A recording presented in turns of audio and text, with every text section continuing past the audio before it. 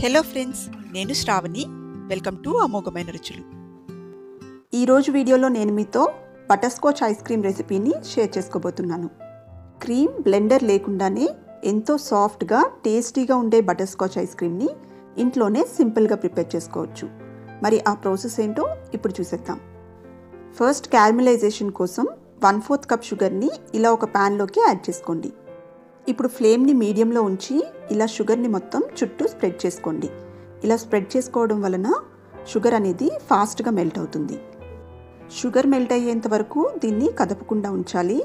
Sugar ఒకసారి melt అవ్వడం start అయ్యాక ఇలా స్లోగా కలుపుతూ ఉండండి. షుగర్ పూర్తిగా కరగడానికి ఒక రెండు మూడు నిమిషాల వరకు టైం పడుతుంది. అంతవరకు లో టు మీడియం ఫ్లేమ్లోనే కలుపుతూ ఉండండి. చూడండి షుగర్ ఇలా కంప్లీట్గా మెల్ట్ అయ్యాక ఇప్పుడు ఫ్లేమ్ని లోకి టర్న్ చేసుకుని ఈ క్యారమిల్ సిరప్ అనేది లైట్ గోల్డెన్ బ్రౌన్ కలర్కి వచ్చేంత వరకు లో ఫ్లేమ్లోనే కలుపుతూ ఉండండి. ఈ క్యారమిల్ సిరప్ డార్క్ బ్రౌన్ కలర్కి చేంజ్ అయితే టేస్ట్ కూడా చేదుగా వచ్చేస్తుంది. అందుకని లో ఫ్లేమ్లోనే కుక్ చేసుకోండి. ఇప్పుడు ఇందులోకి వన్ టేబుల్ స్పూన్ బటర్ని యాడ్ చేసుకుని బటర్ కరిగేంత వరకు మిక్స్ చేసుకోండి. మీరు యూజ్ చేసే బటర్ సాల్టెడ్ అయినా అన్సాల్టెడ్ అయినా ఏదైనా పర్వాలేదు. ఇలా బటర్ యాడ్ చేసుకుని మిక్స్ చేసుకునేసరికి సిరప్ అంతా కూడా ఫోమీగా తయారవుతుంది. ఇలా ఫోమీగా అయ్యాక ఇప్పుడు ఇందులోకి ఒక రెండు మూడు టేబుల్ స్పూన్ల వరకు జీడిపప్పు పలుకుల్ని యాడ్ చేసుకుని అంతా ఒకసారి మిక్స్ చేసుకోండి. ఇలా మిక్స్ చేసుకున్నాక స్టవ్ ఆఫ్ చేసేసుకుని ఇప్పుడు దీన్ని ఒక నెయ్యి రాసిన ప్లేట్లోకి కానీ లేదంటే బటర్ పేపర్ పైన కానీ వేసుకోండి. ఇది చాలా ఫాస్ట్గా గట్టిపడిపోతుంది. అందుకని స్టవ్ ఆఫ్ చేసుకున్న వెంటనే ప్లేట్లోకి ట్రాన్స్ఫర్ చేసేసుకోండి. ఇప్పుడు దీన్ని పూర్తిగా చల్లారనివ్వండి. ఇది కూల్ అవ్వడానికి కనీసం ఒక టెన్ మినిట్స్ వరకు టైం పడుతుంది. సో ఇది కంప్లీట్గా కూల్ అయిన తర్వాత ఇప్పుడు ఒక నైఫ్తో దీన్ని డిమోల్డ్ చేసుకోండి. అదే మీరు బటర్ పేపర్ పైన వేసుకున్నట్లయితే చాలా ఈజీగా డిమోల్డ్ అయిపోతుంది. ఇలా డిమోల్డ్ చేసుకున్న తర్వాత ఇప్పుడు వీటిని చిన్న చిన్న ముక్కలుగా బ్రేక్ చేసుకోండి. ఇలా అంతా చిన్న చిన్న ముక్కలుగా చేసుకున్నాక ఇప్పుడు వీటిని క్రష్ చేసుకుందాం. ఇలా కొన్ని కొన్ని పీసెస్ని తీసుకుంటూ క్రష్ చేసుకోండి. అయితే వీటిని మరీ పౌడర్లా కాకుండా కొంచెం కోర్స్గా క్రష్ చేసుకోవాలి.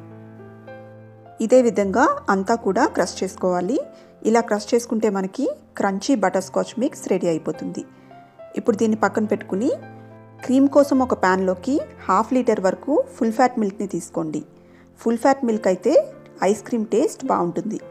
ఈ మిల్క్ని మీడియం ఫ్లేమ్లో బాయిల్ చేసుకోండి. ఇవి బాయిల్ అయ్యేలోపు వేరొక బౌల్లోకి వన్ ఫోర్త్ కప్ వరకు మిల్క్ని తీసుకుని అందులోకి one and half tablespoons కార్న్ఫ్లోర్ని యాడ్ చేసుకోండి. ఈ కార్న్ఫ్లోర్ని ఇప్పుడు పాలల్లో బాగా మిక్స్ చేసుకోండి. కార్న్ఫ్లోర్ ఉండల్లా ఫామ్ అవ్వకుండా బాగా మిక్స్ చేసుకున్న తర్వాత ఇప్పుడు ఈ కార్న్ఫ్లోర్ మిక్స్చర్ని పక్కన పెట్టుకుని పొంగుతున్న పాలను ఒకసారి బాగా మిక్స్ చేసుకోండి. ఇలా మిక్స్ చేసుకున్న తర్వాత ఈ పాలను మరొక మూడు నాలుగు నిమిషాల పాటు లో ఫ్లేమ్లో బాయిల్ చేసుకోండి. పాలు బాయిల్ అయ్యాక ఇప్పుడు ఇందులోకి ఒక ఐదు టేబుల్ స్పూన్ల వరకు షుగర్ని యాడ్ చేసుకోండి. మనం తీసుకున్న హాఫ్ లీటర్ మిల్క్కి ఫైవ్ టేబుల్ స్పూన్స్ షుగర్ అనేది పర్ఫెక్ట్గా సరిపోతుంది. ఇప్పుడు ఈ షుగర్ని పాలల్లో పూర్తిగా కరిగిపోనివ్వండి. షుగర్ కంప్లీట్గా మెల్ట్ అయిపోయాక ఇప్పుడు ఇందులోకి మనం ప్రిపేర్ చేసుకున్న కార్న్ఫ్లోర్ మిక్చర్ని మరొకసారి బాగా కలుపుకుని ఈ పాలల్లోకి యాడ్ చేసుకోండి. ఈ కార్న్ఫ్లోర్ మిక్చర్ని యాడ్ చేసుకునేటప్పుడు ఫ్లేమ్ని లోలో ఉంచండి లేదంటే కార్న్ఫ్లోర్ అనేది బాటంలో స్టిక్ అయిపోతుంది. ఇప్పుడు దీన్ని ఒకసారి బాగా మిక్స్ చేసుకుని ఒక మూడు నాలుగు నిమిషాల పాటు మీడియం ఫ్లేమ్లో కుక్ చేసుకోండి. ఇలా కుక్ చేసుకునేసరికి ఈ కార్న్ఫ్లోర్ పాలు కొంచెం చిక్కగా అవుతాయి. ఇలా చిక్కబడిన తర్వాత స్టవ్ ఆఫ్ చేసేసుకుని దీన్ని కంప్లీట్గా కూల్ అవ్వనివ్వండి. చల్లారేసరికి ఈ పాలు కార్న్ఫ్లోర్ మిక్చర్ అనేది ఇంకొంచెం తిగ్గా అయింది చూడండి. ఇప్పుడు ఈ మిక్చర్ని ఒక మిక్సీ జార్లోకి ట్రాన్స్ఫర్ చేసుకోండి. ఇప్పుడు మనం చేసే ఐస్ క్రీమ్ సాఫ్ట్గా క్రీమీగా రావడం కోసం ఫ్రెష్గా పాల మీద తీసిన మీగడ ఉంటుంది కదా ఆ మీగడను ఒక త్రీ ఫోర్త్ కప్ వరకు యాడ్ చేసుకోండి. ఫ్రెష్గా తీసిన పాల మీగడ అయితేనే మనకి ఐస్ క్రీమ్ అనేది సాఫ్ట్గా వస్తుంది. ఇప్పుడు ఇందులోకి కలర్ కోసం చిటికెడు ఎల్లో ఫుడ్ కలర్ అలాగే half teaspoon butterscotch ఎసెన్స్ని వేసుకోండి. ఇవి రెండు వేయకపోయినా కూడా ఐస్ క్రీమ్ టేస్ట్ అనేది పర్ఫెక్ట్గానే వస్తుంది. సో వద్దనుకుంటే స్కిప్ చేసుకోవచ్చు. ఇప్పుడు ఇందులోకి ఒక రెండు మూడు టేబుల్ స్పూన్ల వరకు మనం ప్రిపేర్ చేసుకున్న బటర్ స్కాచ్ మిక్స్ని యాడ్ చేసుకుని ఫైన్గా బ్లెండ్ చేసుకోండి. చూడండి మనం యాడ్ చేసిన పాల మీగడ అలాగే బటర్ స్కాచ్ మిక్స్ అంతా కూడా సాఫ్ట్గా బ్లెండ్ అయిపోవాలి. మిక్చర్ అనేది ఇలా నురుగులాగా రావాలి. ఇప్పుడు దీన్ని ఒక గ్లాస్ జార్లోకి ట్రాన్స్ఫర్ చేసుకోండి.